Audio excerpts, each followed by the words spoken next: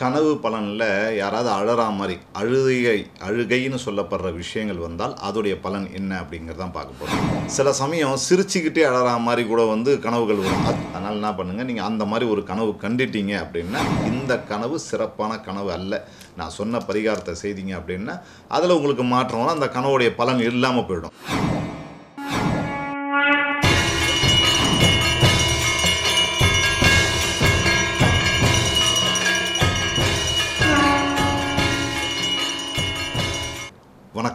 வாழ்க நலம் இன்றைக்கி என்ன பார்க்க போகிறோம்னா கனவு பலனில் யாராவது அழறா மாதிரி அழுகை அழுகைன்னு சொல்லப்படுற விஷயங்கள் வந்தால் அதோடைய பலன் என்ன அப்படிங்கிறதான் பார்க்க போகிறோம் அதுக்கு முன்னாடி ஒரு விஷயம் என்னென்னா நம்ம வந்து சாப்பாட்டுக்கு சாப்பிட்ற சாப்பாட்டுக்கு மரியாதை கொடுத்து தரையில் அமர்ந்து சாப்பிடுவது சிறப்பு. கீழே உட்காந்து சாப்பிடுங்க.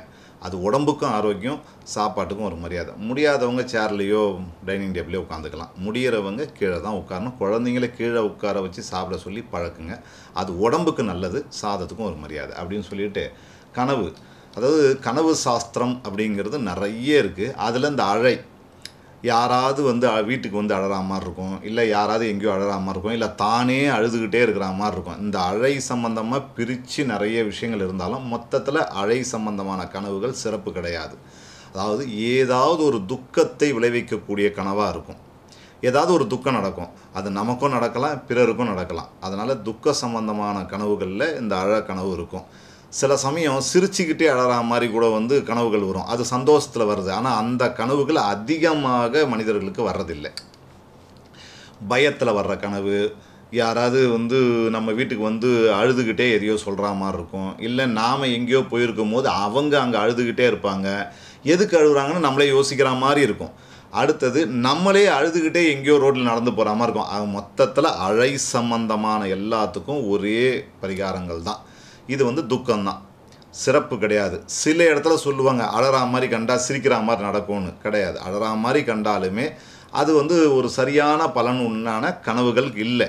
அதனால் என்ன பண்ணுங்கள் நீங்கள் அந்த மாதிரி ஒரு கனவு கண்டுட்டீங்க அப்படின்னா எப்போவுமே கொஞ்சம் பயங்கரமான கனவுகள் கண்டு முடித்தோம் அப்படின்னா டக்குன்னு முழிச்சுக்கிறது வழக்கம். அப்படி முழிச்சுக்கிட்டீங்க அப்படின்னா நம்ம பாத்ரூம் போய் முகம் அலம்பிட்டு உப்பு தண்ணியை தலையில் தெளிச்சுக்கிட்டோம்னா அந்த கனவோடைய பலன் பலிக்காது. இல்லை நம்ம நைட்டு எந்திரிக்கல. காலையில் எந்திரிச்சதுக்கப்புறம் தான் இதெல்லாம் ஞாபகம் வருதுன்னா அப்பவும் அதே தான் அது உடனே செய்யணும் பரவாயில்ல. கொஞ்சம் லேட் ஆகிட்டாலும் அதே மாதிரி முகம் கை கழுவிட்டு உப்பு தண்ணி எடுத்து ஒரு மஞ்சத்தூளை கொஞ்சம் போட்டு கலந்து மேலே தெளிச்சுக்கணும். தெளிச்சுக்கிட்டா இந்த கனவுடைய பலன்கள் குறையும். பொதுவாக வந்து துக்க சம்பந்தமான கனவுகள் எப்படின்னா நமக்கு ரொம்ப சங்கடத்தை கொடுக்கும். சில கனவுகள் வந்து உடனே பிரச்சனையை கொடுத்துரும் சரின்னு ரிலீஃப் ஆகிடலாம் ஆனால் இந்த அழை சம்பந்தமான கனவு மட்டும் எப்படின்னா கொஞ்சம் கொஞ்சமாக நம்மளை அரிக்கும்.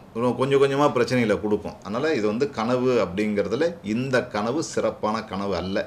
நான் சொன்ன பரிகாரத்தை செய்தீங்க அப்படின்னா அதில் உங்களுக்கு மாற்றம் வரும். அந்த கனவுடைய பலன் இல்லாமல் போயிடும். அதுக்கான பலன் கிடைக்காது. ஒரு நியூட்ரல் ஆகிடும் இது நான் சொன்னபடி செய்து உங்களுடைய வாழ்க்கையில் வளம் பெற்று நலம் பெறுங்க. நன்றி வணக்கம் வாழ்க நலம். காமக்கியா ருத்ரபீடம் யூடியூப் சேனலை லைக் பண்ணுங்க ஷேர் பண்ணுங்க சப்ஸ்கிரைப் பண்ணுங்க. தொடர்புக்கு காமக்யா ருத்ரபீடம் ஸ்ரீ சிவஞான குரு அக்னிருத்ர குருஜி அவர்கள் காமக்யா தேவி உபாசகர். ஸ்ரீ காமக்யா தேவி ஆலயம். வலதுகால் சாய்பாபா அபய குருஸ்தல வளாகம்.